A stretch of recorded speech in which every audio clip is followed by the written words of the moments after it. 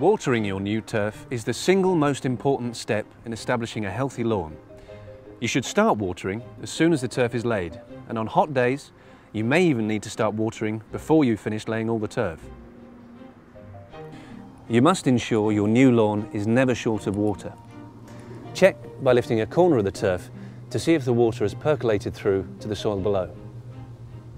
You should continue to water until the turf is well established, and even if it rains, you still need to check that the lawn is receiving a sufficient amount.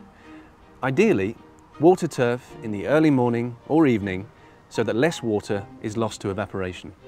Once the turf has started to root, you need to start thinking about mowing your lawn. Your new lawn is ready to be mown as soon as this can be done without dislodging the turf. Check by gently trying to lift it. If it can be lifted easily, replace it and allow more time to establish but don't allow your new lawn to get too long. Mowing encourages establishment, although this should be the only time you walk on your new lawn in the first few weeks.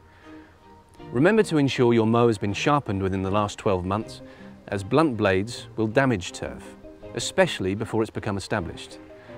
Never remove more than one third of the grass blade length, and finally, alternate the direction in which you mow your lawn.